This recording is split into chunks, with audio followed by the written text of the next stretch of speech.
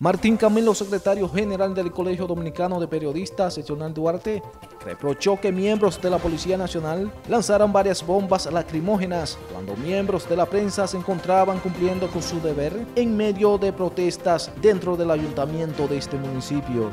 Camilo habló de la importancia de la unión del sector para prevenir hechos como este.